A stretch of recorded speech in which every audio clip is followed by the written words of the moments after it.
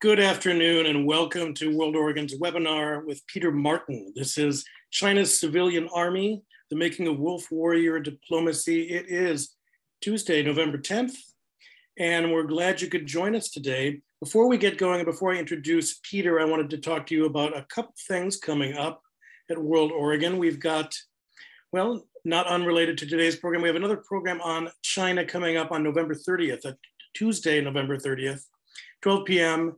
Pacific Standard Time. It is What is Happening to the Uyghur People in China with Rushan Abbas from the Campaign for Uyghurs and Abdul Karim Idris of the World Congress for Uyghurs. So join us for that um, very, very um, important issue that is not getting nearly the amount of play it probably should in the West. And hope you can join us for that. Also coming up December 1st, John Ghazvinian uh, fantastic historian, has a new book. He's going to join us for a discussion on America and Iran, a history from 1720 to the present. That's Thursday, December 1st, 12 p.m. You can find any of our upcoming programs at worldoregon.org, and we welcome you participating. These are online programs, they have free admission, and it is a great way to keep everyone connected to the world. Um, a little note on today's program um, your cameras are off, your mics are off. This is a webinar. You can submit your questions in the Q&A function at the bottom of the screen. I may drop some things into the chat, like the link to buy a copy of Peter's book, which is fantastic, from our dear friends at Broadway Books.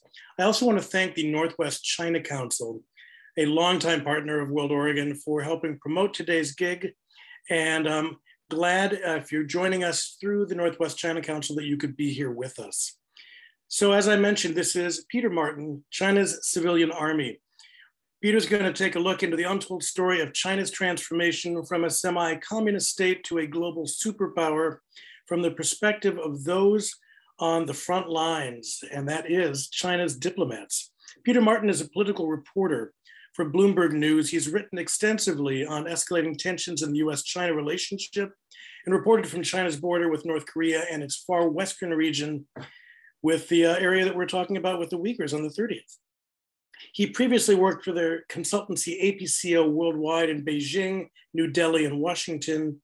In Washington, he served as chief of staff to the company's global CEO. His writing has been published by outlets including Foreign Affairs, National Interest, The Guardian, the Jamestown China Brief, The Diplomat, and the Christian Science Monitor.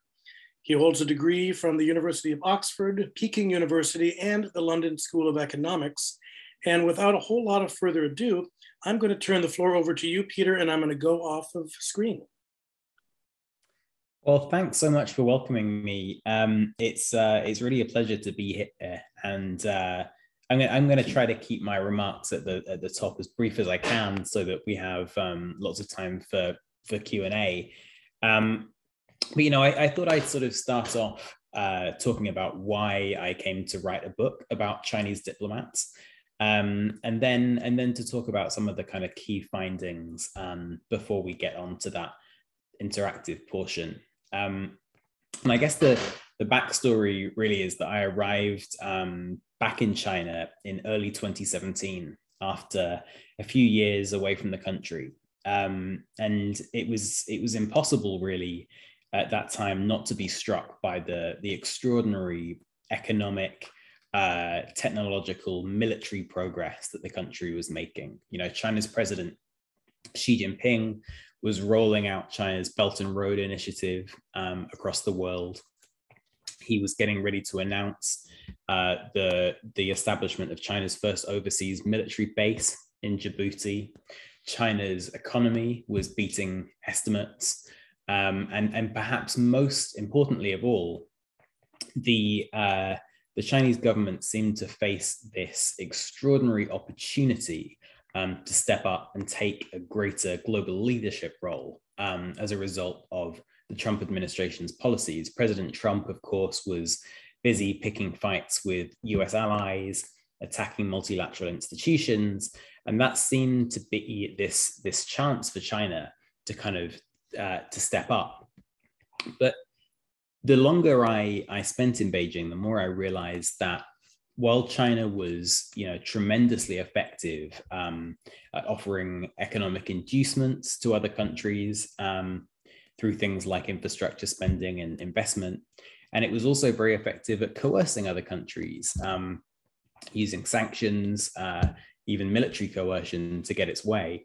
It, it really seemed to struggle with the, that part of being a superpower and being a global leader which involves persuading others of your point of view, whether that's through propaganda or through the art and craft of diplomacy. Um, and, and as you as you kind of step back and, and think about the kind of world that we're moving into, this is going to be a, a world where there are multiple centers of power, you know, not just the United States. And there's going to be a premium, I think, on that ability to persuade others of your point of view, the ability to make your case to the world and have others sign on. Um, and, and, and, no one is going to be able to kind of dictate terms in that way. Um, the, the more I thought about that theme, the more I kind of came to see Chinese diplomats as a microcosm of China's broader struggle to communicate with the world. Um, and they're, they're a kind of curious group of people. Um, on the one hand, they are uh, extremely suave, sophisticated, highly trained.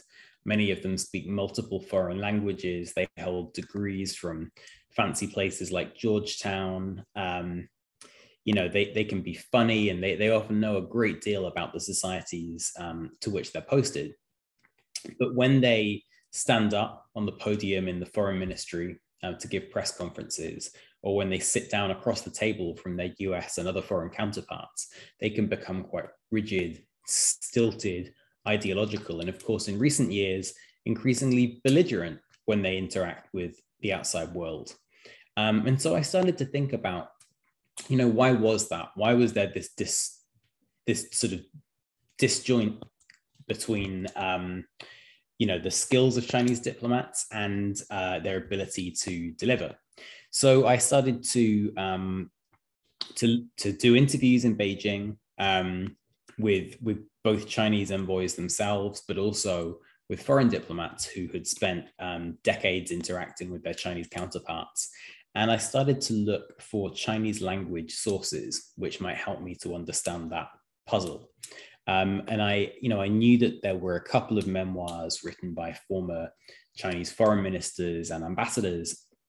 But as I as I kind of delved into secondhand bookstores and and you know government bookstores and, and and those kind of things, I found that there were more than hundred memoirs written by former Chinese diplomats, which I used um, really as the main source base for the book that I eventually pulled together. And you know, when I started out on this project, um, it was a pretty niche topic. Um, uh, but you know, as the years have rolled on and, and, we've heard more and more about wolf warrior diplomacy, we've seen examples of Chinese diplomats um, storming out of international meetings, of insulting foreign counterparts, telling them to shut up, uh, even spreading conspiracy theories about the origins of COVID 19.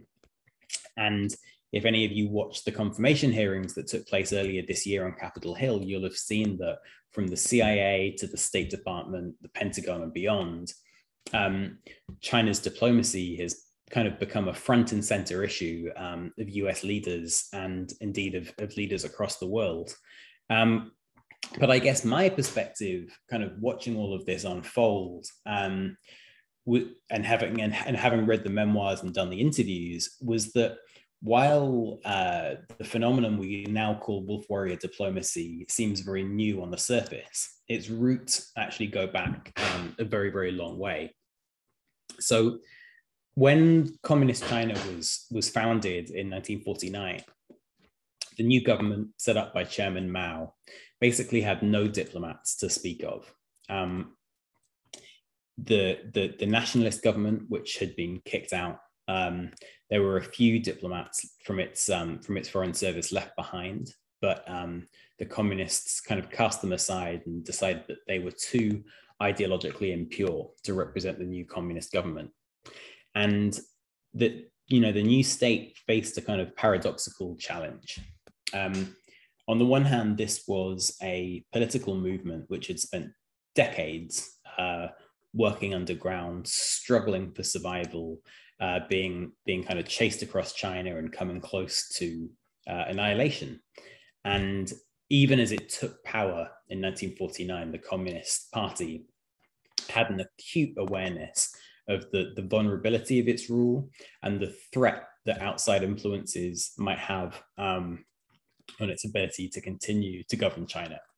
Um, but at the same time as it had this deep suspicion and paranoia about the outside world, the new government also needed desperately to, to build bridges and, and win friends um, outside of China, if only to establish itself as, uh, as the legitimate government there.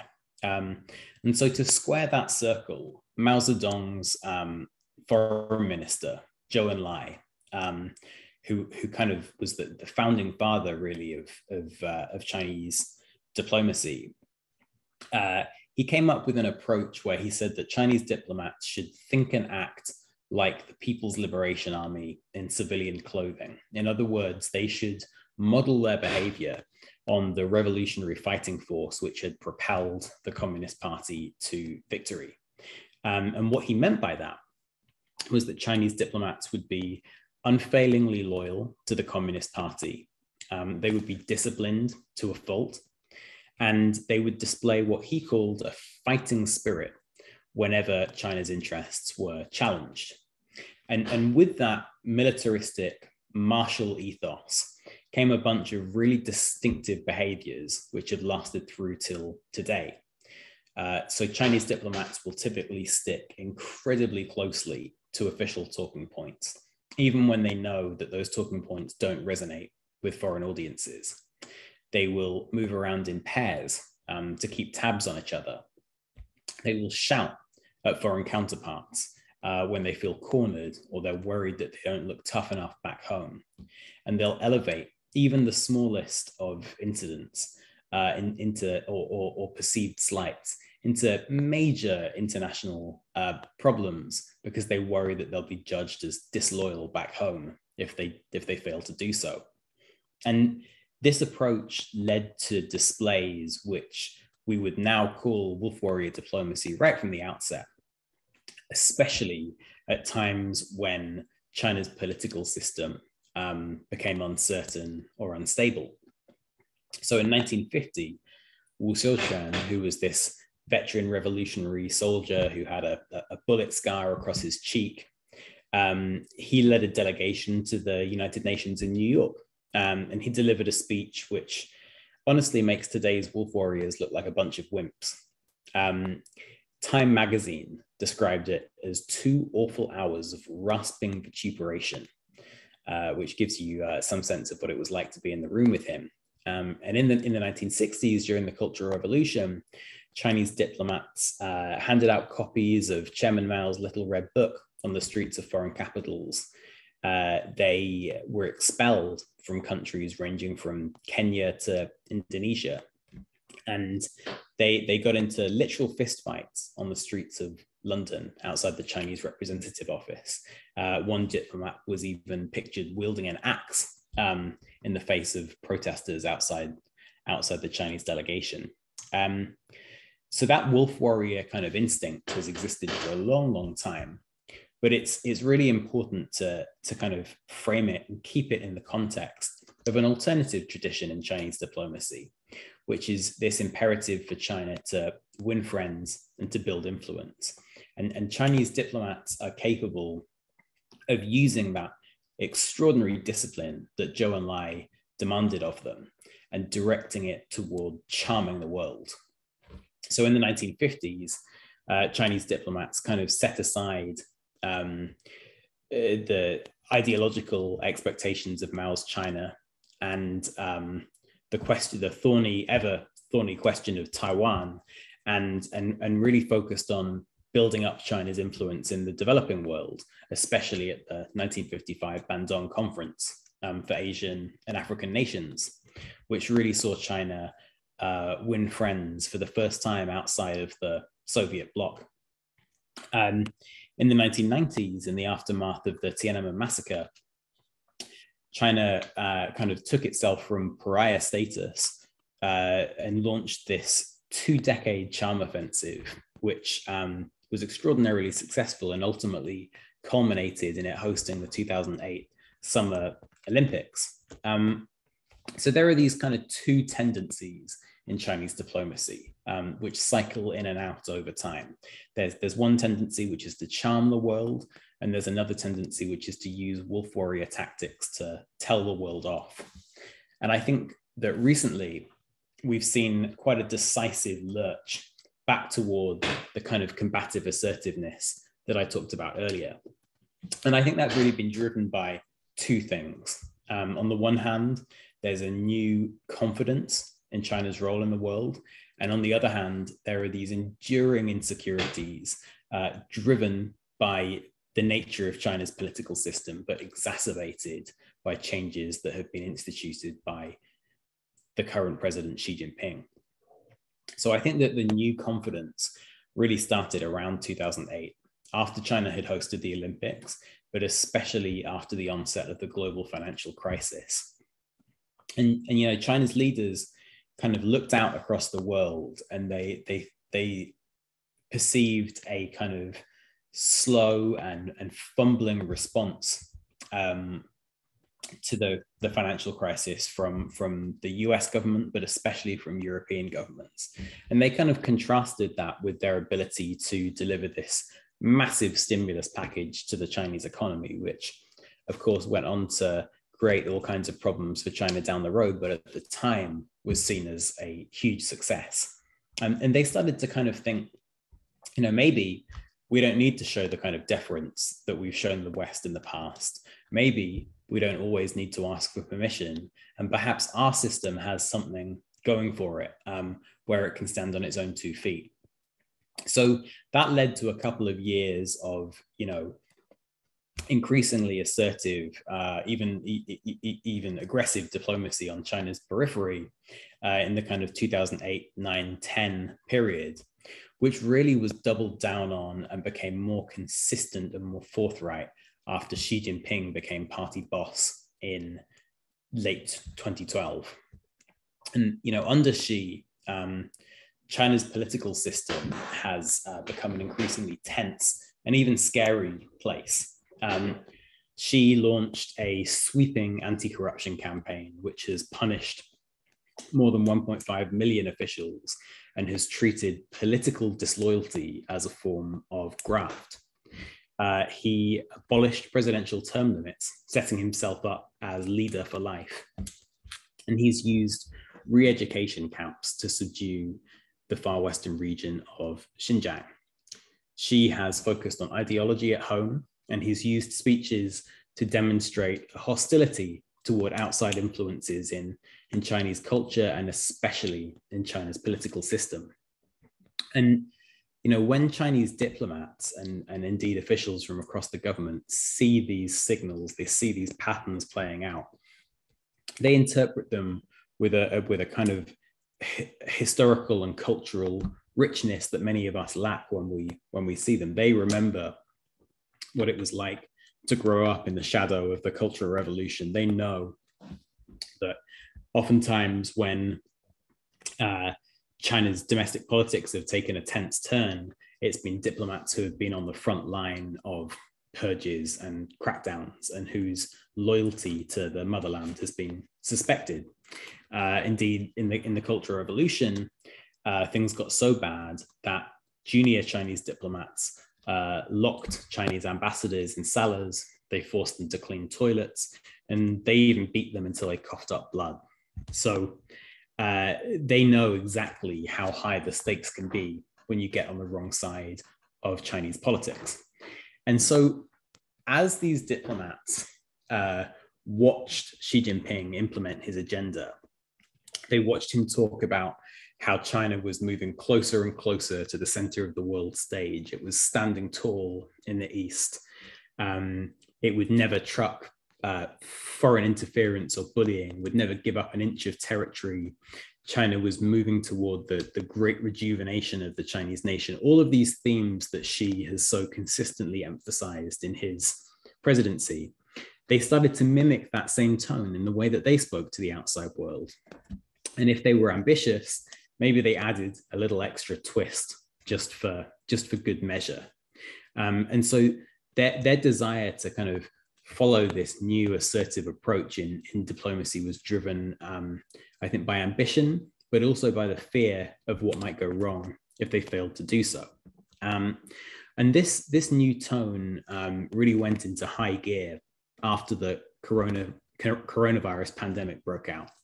And so China, once again, found itself under attack for, for covering up the origins of the virus, but also this new confidence was on display as well um, as Chinese leaders looked out across the world at the inability of North American and European governments to stop the spread of COVID 19.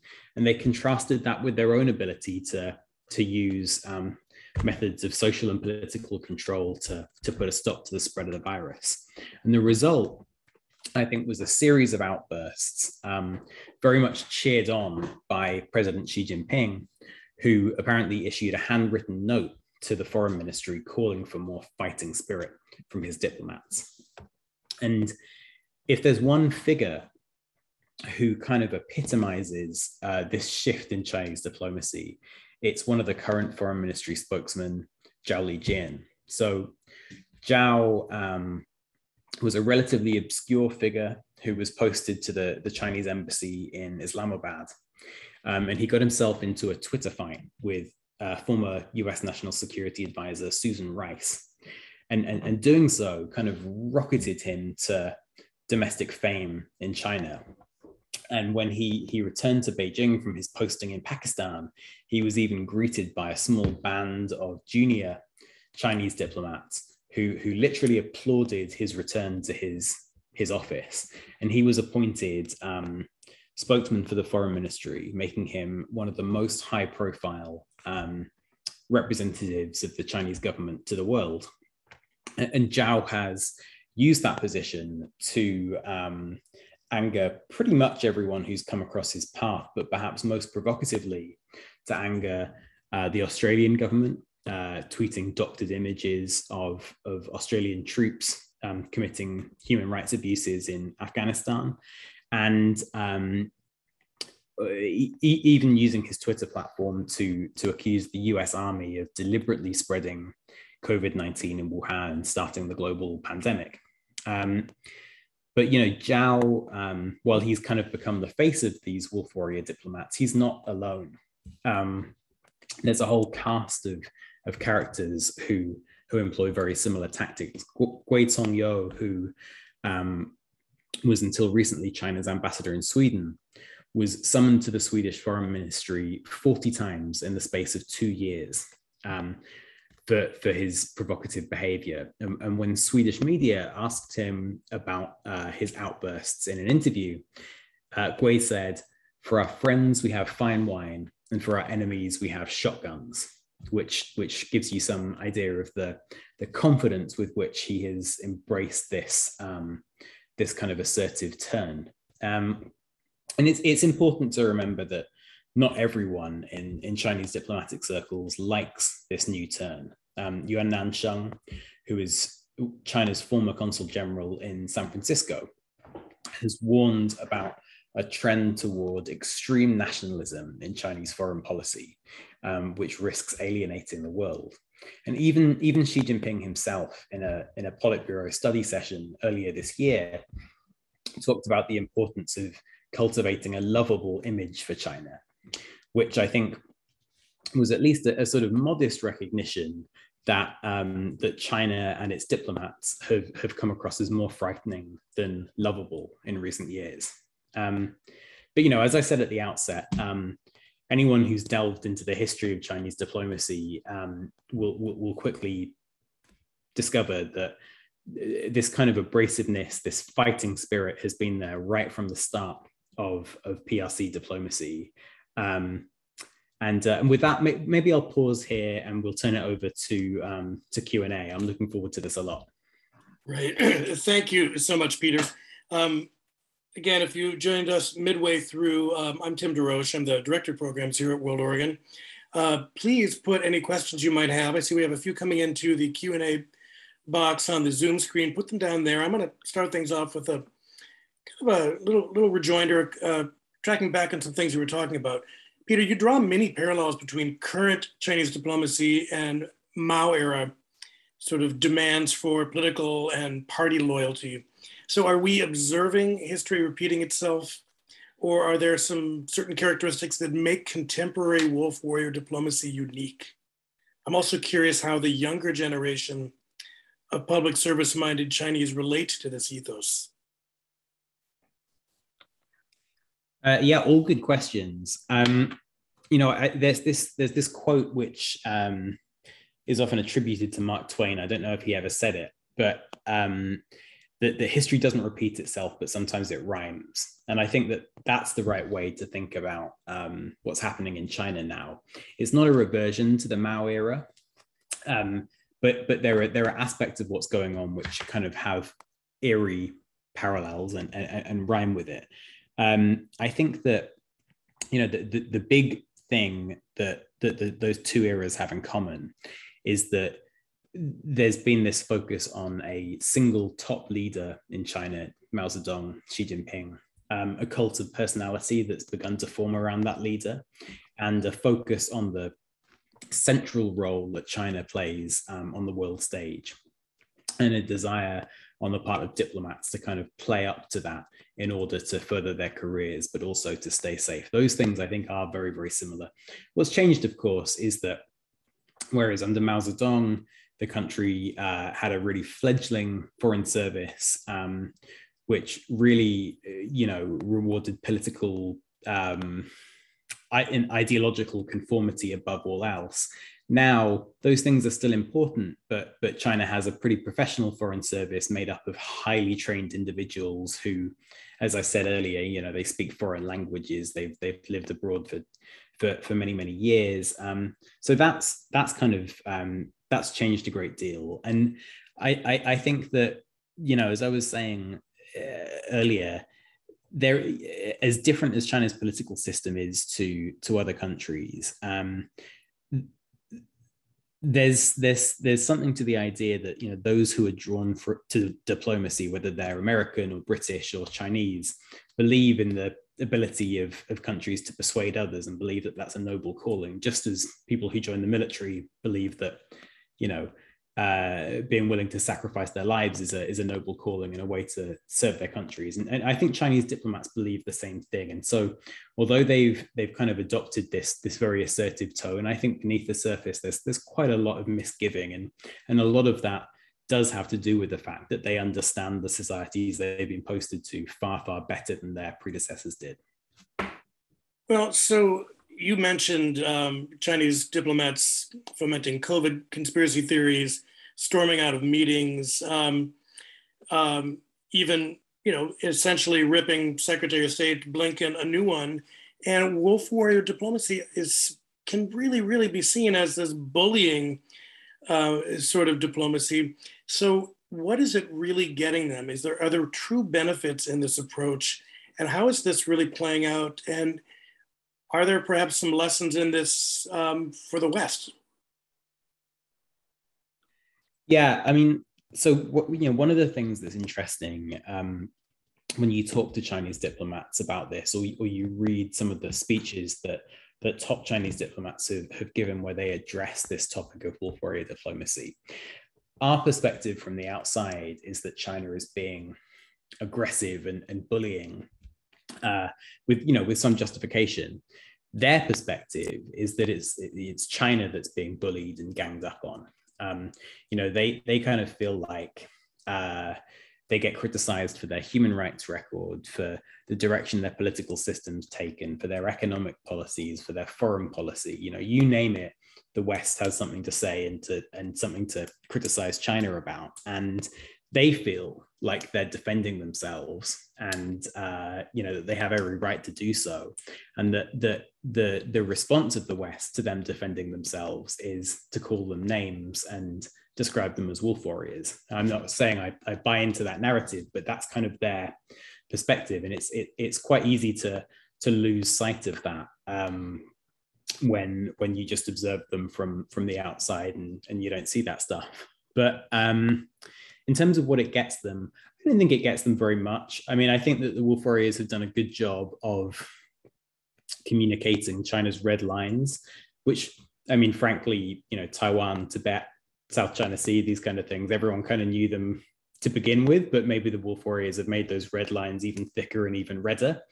Um, and, and, and they've done a relatively good job of, of making clear that there will be consequences for countries that cross China. But I think on the whole, if you look at polling um, that, that's come out in recent years, there is this very deep and very widespread backlash to the idea that, that China has been bullying the world. Um, and I think the Wolf Warriors have really kind of put a human face on um, a much broader pattern of Chinese assertiveness, um, you know, from, from its military behavior to its behavior on its borders and its economic policies and so on, which were already alarming to the outside. And so, you know, I, I would say wolf warrior diplomacy is a, is a net negative for China. Well, so does wolf warrior tone frame China's ambitious moves into places like Africa and South America? And is there some sense that Belt and Road is going to soften this kind of uh, approach? Yeah, I mean, I think, um, like I, I, was saying before, Ch- China is um, China is actually really good at that economic inducements piece. You know, offer, no understanding that the size of the Chinese market and um, the scope of its global commercial ambitions gives it huge leverage. Um, and it's used that very effectively in, in Africa and Latin America. And, and actually, oftentimes, um, especially in the African example, wolf warrior diplomacy hasn't really been a feature of what it does there.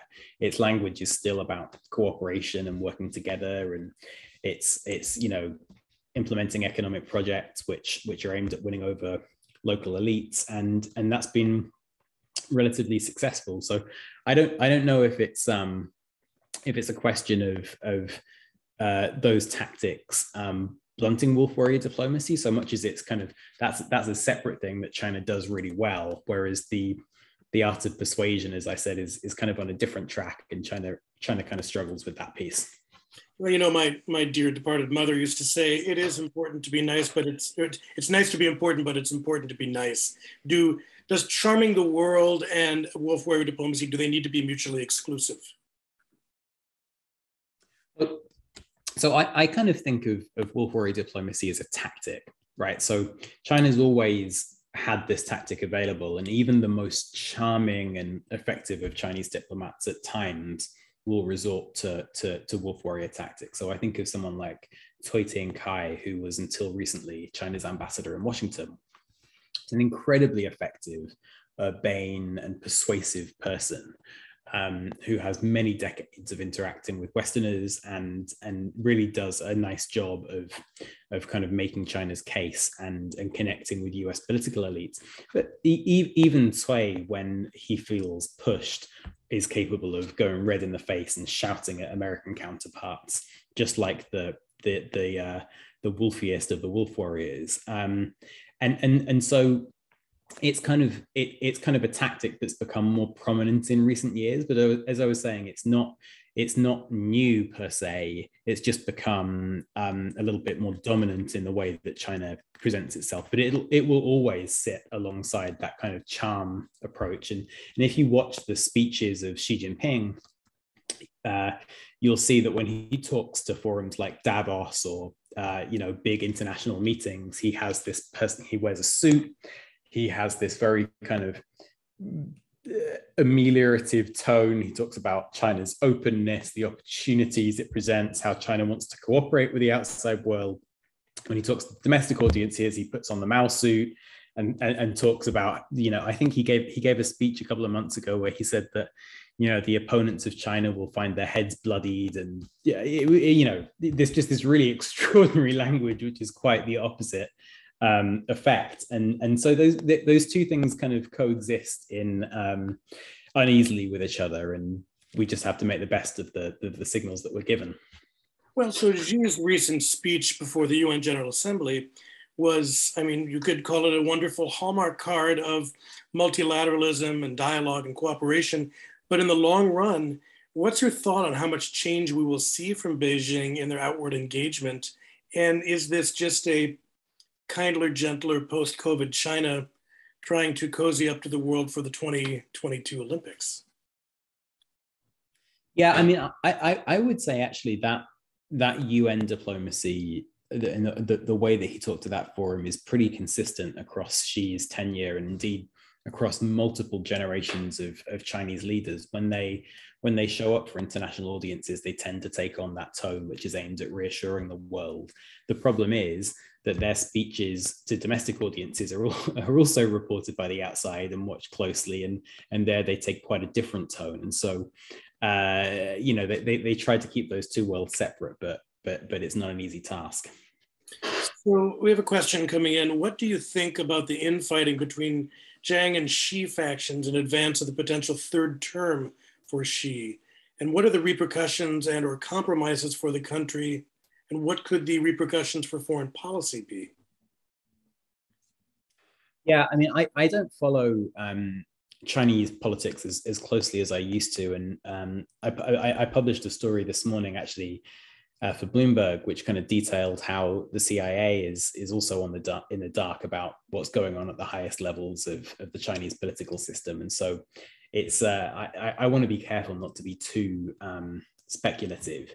The, the, the the smartest people I speak to um, seem to have kind of moved away from this model, which which people used to have for two competing factions inside the Chinese leadership and towards a, a model which is much, much more focused on Xi Jinping and uh, kind of endorses the idea that he has become the dominant figure in Chinese leadership.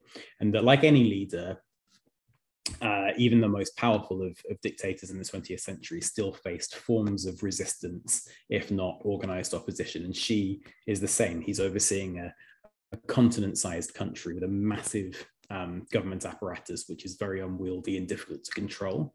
But he he has become, in his, his his person, his office has become kind of the organizing principle of Chinese politics. And I, I don't know that there's much um, left in terms of organized oppositional factions. It's it's more kind of systemic inertia. Um, but but like I said, you know, I don't I don't follow this as closely as I as I used to. So in September, the New York Times published an interesting article on how the Chinese are turning away from English and the West and becoming increasingly more insular. How is this playing out for Western educated Chinese that want to work with the administration? And is this influencing diplomacy and its recruitment in Beijing? Yeah, um, I mean, I I don't know that we we know exactly how that will that will impact the way that diplomacy is conducted. It's probably more of something where we'll see the impact in a couple of in, in a generation or so. But in, in general, um, Xi Jinping's administration has has wanted to focus on Chinese culture, uh, on what they call China solutions to global problems, on Chinese traditions, um, both Communist Party traditions and kind of um, thinkers like Confucius and and all, all of those kind of domestic influences, and to want to play down um, the role of outside influences. And you can you can make a case about why that's completely implausible, given the fact that Karl Marx was German and lived a long time in England, um, and you know com- communism wouldn't exist without um, without outside influences. But but anyway, they, they they try to present things in those terms, and and under Xi, there has been a, a bit of a sort of nativist turn in in the way that um, cultural policy is set up, and I think that owes a lot to um, a desire to uh, exert greater control over, over Chinese society and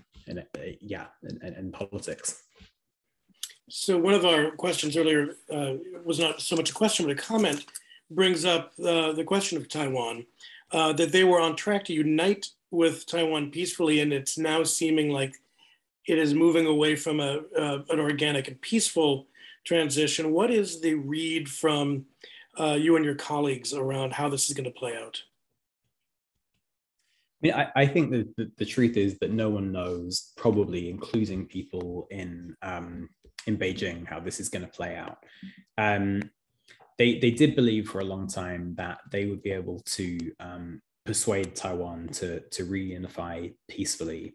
In truth, I think that that has not really been a realistic option um, since Taiwan democratized. Um, it's uh, become increasingly clear that the, the, Taiwanese public is opposed to it. And given that the, the Taiwanese public gets to choose its own governments, I can't I can't foresee a way in which um, which reunification would happen peacefully. Certainly, certainly without some pretty radical changes in in Taiwan's domestic politics.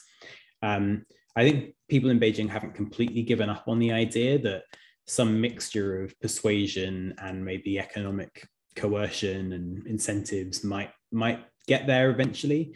But I think there are a lot of people who also believe that force will be necessary long term. Um, they are also aware, however, that launching amphibious uh, landings on offshore islands is is notoriously difficult, as the history of the 20th century uh, shows us, and that they still face an incredibly um, competent military adversary in in the shape of the United States, which would possibly probably intervene in uh, in a conflict were China to invade. And so I think the hope is that they can build up their capabilities to a point where the US would be deterred from intervening. Um, and where the options uh, for Taiwan to to kind of go it alone were were pretty implausible. But I, I don't think we're there yet. You know, um, Chairman of the Joint Chiefs of Staff, um, General Milley, recently said that he doesn't see an invasion happening in the next 24 months, and I think that that's kind of on the on the conservative side. I think that there's still quite a long way to go before China feels confident in its ability to to do that. Well, as an aside, uh, World Oregon's young professionals host a biweekly discussion group where they take a, a piece of long form journalism and people can read it and join a discussion coming up on the 21st of November at 11:30 a.m. You can go to worldoregon.org to find this. They are looking at T-Day, the battle for Taiwan, a recent long article that Reuters put out. So if you want to dive into the conversation a little bit more, it's a it's a good way to do that. So Peter, China is so often portrayed as an economic aggressor and often, you know, even a pariah in the news. Does this upset the inner circle of power? And who do they turn to and who do they count as their trusted allies in moments like that? Uh, yeah, I think it does upset the the inner circle. Um, it doesn't upset them enough to change their policies or behavior. Um, and I think that there's there's quite a widespread belief in Beijing that eventually, as China grows more economically and militarily powerful, the rest of the world will kind of fall into line. Um, but but you know it does it does upset them for sure. They they receive um, clippings from international media which which kind of guide them on what's going on in the outside world and and they don't like to see bad reports unfortunately. Um, the for them uh, the international media is is kind of out of their control. Um, but yeah i think i think it's fair to say that it it does upset them when when china's presented as a as a pariah can you remind me of the, the second part of that question? Oh yeah. Who who do they turn to as their ally? I mean who oh, do they yeah. consider their their friends? Yeah. So this is this is something where um, there's a standard Washington, D.C. talking point, which is to say China has no friends and allies. And this is a great, you know, this contrasts with the, the great strength of the United States, which is its alliance system, which is true, but I think tends to um, downplay the, the influence that China has been able to build and, and garner. Um, Cambodia in Southeast Asia has has gotten very close to China and it's not a powerful country, but it is able to play a kind of spoiler role in the association for Southeast Asian nations and, and stop them speaking out against China when it comes to South China Sea. Hungary in Europe plays a similar spoiler role. Not a country that's setting Europe's agenda, but it is a country with veto power over a lot of important decisions, and it's it's kind of also done Beijing's bidding for it. Pakistan is a country which um, is providing China with um, kind of uh, as close to Beijing has as an alliance relationship. There doesn't, there's no official alliance, but they're incredibly close. And Pakistan has Beijing's back when it comes to its regional rivalry in South Asia with India. Um, North Korea actually does have a kind of out, uh, outdated legacy uh, military alliance with Beijing and and presents leverage for for China in its relationship with the United States, and probably most importantly, but also contentiously, Russia. Um, there's there's a lot of debate about whether you know how close is the China-Russia relationship, and I think it's true to say that there is kind of mistrust beneath the surface, but every indication um, that I see suggests that the countries are moving closer and closer over time. And, and I think one of the best indicators of that is the military relationship between the two. Um, until about 10 years ago, Russia was, was pretty wary about selling um, China its most advanced weaponry, and it has disposed of that um, concern. It now sells Beijing the best it's got. It transfers military technology to China and engages in a, an increasingly widespread array of military exercises with Beijing, which I think shows that it has decided that even if even if China does pose some long-term threat to Russia, uh, their interests are more aligned than not. And so, you know, that's kind of my long-winded way of saying it's true China doesn't have an alliance system like like Washington does, but it's got some friends who can be useful and, and, and difficult when it needs them to be. Well, is there any speculation that you're hearing about in terms of the Taliban government in Afghanistan and what that might look like for any future diplomatic relations with China? Yeah, I, I thought that some of the reporting on this um, got got Beijing's relationship with the Taliban kind of slightly wrong. Um, Beijing's overriding priority is uh, is stability on its its western border when it comes to Afghanistan. It doesn't want the country to be a staging board for terrorist attacks in China, um, which is you know a, a, real concern that they that they have, and it wants to be able to continue its kind of economic agenda in South and Central Asia. From that perspective, China is willing to work with anyone who um, is amenable to its interests. And one of the first things that it got out of its talks with the Taliban was a promise that Afghanistan wouldn't be used as a staging board for terrorism in China directed at, at the Chinese government. Uh, so, but this is often sort of conflated with there's there's an alliance between China and the Taliban. I think it's a little bit more complicated than that. It's kind of Beijing faces a thorny situation and doesn't doesn't have many qualms about working with the Taliban, but it's also it's also wary of them. It, it, it understands that the legacy of um, of, of that country's use as a as a base for for terrorism, and, and it worries about that in its own context as well.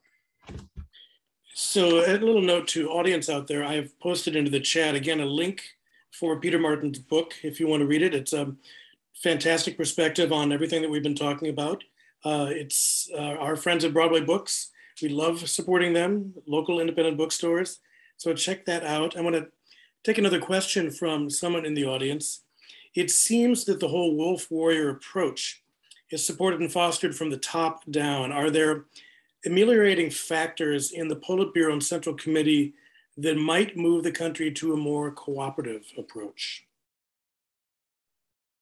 Um, I think the truth is that we we don't know um, if there are voices in the Politburo and Central Committee which oppose wolf warrior diplomacy, because those people don't feel at all empowered to speak out. I mean, it's it's rem- it sounds like the, the questioner knows quite a lot about Chinese politics, and it's remarkable when I look back even a decade ago um, you had uh, Chinese leaders like Wu Bangguo and Wen Jiabao offering directly contradictory public statements about the future of China's political system. And that that kind of I mean, it was never that open, but that kind of, in relative terms, open public debate has almost completely vanished when it comes to the most sensitive issues in Chinese politics. And that includes um, Chinese diplomacy. Uh, Xi Jinping has kind of set the tone that he likes um, a few retired diplomats uh, and and foreign policy scholars in Beijing have spoken out against that. But I haven't seen any senior figures um, deviate from the line that Xi Jinping has set, and I think the truth is that they don't feel like they can safely do so. So, a question about youth. Um, certainly, with Hong Kong, we heard a lot about you know youth movements, but how are millennials and Gen Z in China engaged with the system, and are are they are they positioning themselves in any sort of international conversation? Are they being groomed for any pathways to diplomacy? I'm just curious about that. Yeah, you know, it's as you know, it's it's such a difficult question to address because China's population is so huge and it's so hard to generalize and you know young people in rural areas feel differently to young people in the cities and educated group, you know you, you you get it. With those with those provisos i think that what what we can observe from chinese young people online and and, and you know interviews i've done and things in china I, I kind of feel like there's a there's a lot of patriotism and a lot of pride on the part of a lot of chinese young people um, which sometimes manifests itself in, in hostility to the US and the West, um, but sometimes is is is manifested in, in, in quite understandable pride in many of the things that, that China has achieved. I think that the challenge for Xi Jinping and the rest of the Communist Party leadership is to make sure that that patriotism always serves the interests of the, the Communist Party. Um, the most dangerous moments in, in Chinese history have tended to be when the, the government is seen as um, having gotten on the wrong side of China's national interests and China's national pride. And so he, Xi has given speeches where he's talked about the need for constructive patriotism and, you know, loving the motherland and these things. And eh, what he kind of means by that is loving the motherland, but loving the Communist Party at the same time.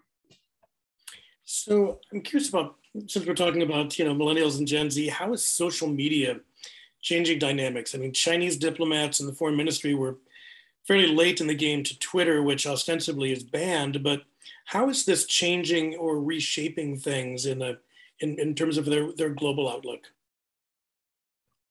Um, I mean, in terms of reshaping uh, Chinese young people's outlook, I don't, you know, China, China kind of has its own social media conversation, which takes place under rules largely determined by the Communist Party. Um, so yeah, there's there's debate and there's criticism, and people use code words to say um, uh, critical things about the government, and you can still get a sense of some online debate. But really, relative to a decade ago, the space for free and open conversation online by young people or anyone else has been has been shut down, and the ability of, of Chinese internet users, unless they are really determined and they want to go out and get VPNs that allow them to jump over the Great Firewall, their ability to engage in global debates using global platforms like Twitter is really, really limited, um, which makes the, the Chinese foreign ministry's embrace of Twitter all the more ironic. Um, their desire to do so is kind of rooted in this perception that they have, um, where they, they talk about they, they use this clunky phrase that they, they call discourse power. And they say that the West has a lot of discourse power and China doesn't. And what they mean by that is that the most powerful media institutions in the world uh, are run out of the United States and to, you know, to some extent other Western nations.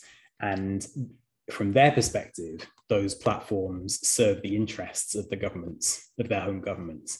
And that when they try to speak to the outside world, their words are kind of filtered through the prism of Western media, which distorts it and and and and doesn't and and, and paints a bad picture of China. Again, that's that's their perspective, not not my perspective, but uh, that that kind of makes Twitter quite an appealing platform for them because it allows them to speak directly to the world without being filtered through the media, which incidentally is exactly the same reason that populist politicians like social media because they they too can evade um, uh, mainstream media outlets. But anyway, um, I think I think that that that kind of gets to a bit of China's approach to, to social media. So you hinted at this a little bit, but I'm wondering if you can um, maybe elaborate a little bit more. But what is the read and the reaction for the Chinese on the U.S. North Korea dynamic?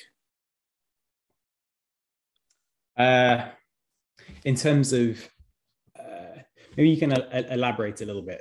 well, um, I mean, we, we, you know we we saw that this this sort of dallying with you know some sort of diplomacy under the previous administration. Mm. What's what? Where do they see their role in terms of? Uh, do they feel? Um, are they are they an observer? Are they a broker? Um, are they are they picking sides? Are they placing bets?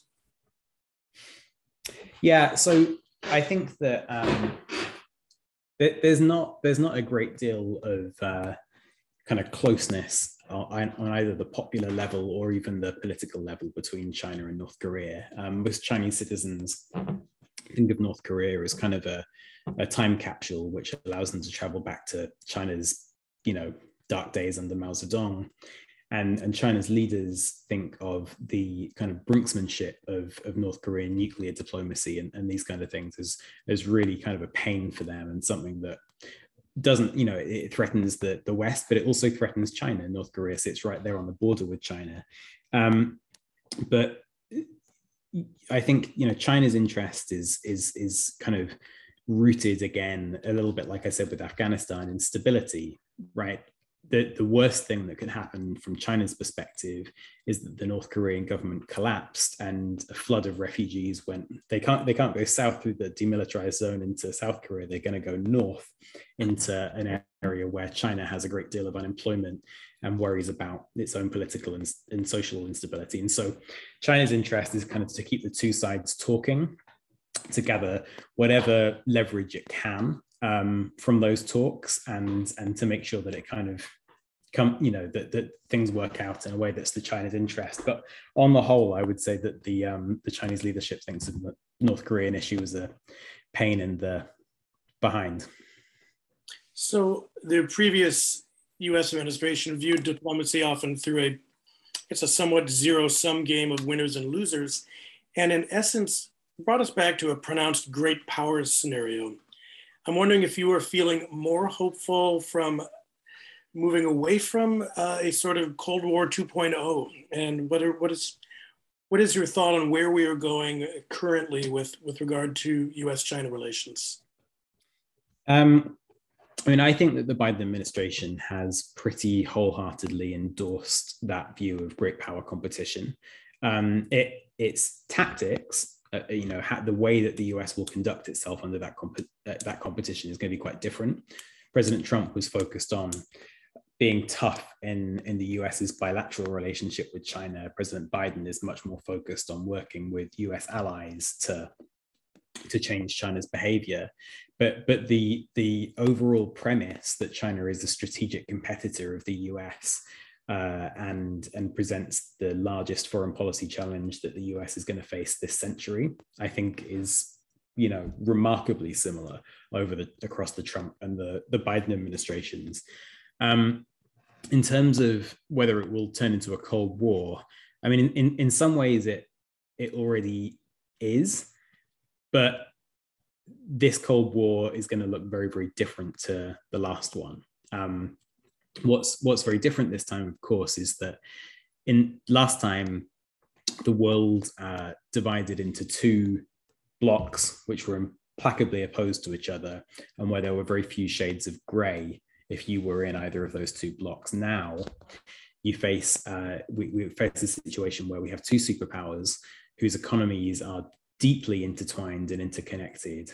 Um, and also whose whose allies and friends uh, are don't uh, kind of break out so easily into into two clear neat blocks. Um, and you know, if you look at the way that, that the Biden administration has worked with the European Union, with NATO, with Quad nations, with the Five Eyes countries, you know, all of the, the, the, recent AUKUS deal with the UK and Australia, really it's about stitching together um, messy and overlapping coalitions of the willing. And so from that kind of interdependence piece and then the, just the messiness of friends and alliances, if this is a new Cold War, it looks very, very different from the last one. Great. Thank you, Peter. We are coming up on our time. Um, I want to thank everyone who joined us today. Again, um, we've been talking with Peter Martin, the author of China's Civilian Army, The Making of Wolf Warrior Diplomacy. You can pick up a copy from Broadway Books here in Portland. Um, support your local independent bookstores and um, and good independent thought. Um, it's been a great conversation. I also want to thank the Northwest China Council for helping uh, bring to today's program together. Again, a couple things to look out for. Our young professionals are hosting long reads on uh, the 21st of November and looking at T-Day, the battle for Taiwan. And that is 11.30 in the morning. This is, you can find this at worldoregon.org. Also on the 30th of November, what is happening to the Uyghur people in China with Rushan Abbas and Abdul Karim Idris. So if you want to dive more into China-related topics, those are two ways to do it. I want to thank you again. This will be posted on YouTube if you want to share it with friends. Um, as always, uh, stay safe, be well, and thanks for helping us connect Oregonians to the world. Peter, thank you for your fantastic perspective. And hopefully we'll see you um, again soon on the uh, World Oregon stage, whether that be virtual or in person. It's been a pleasure. Thank you so much.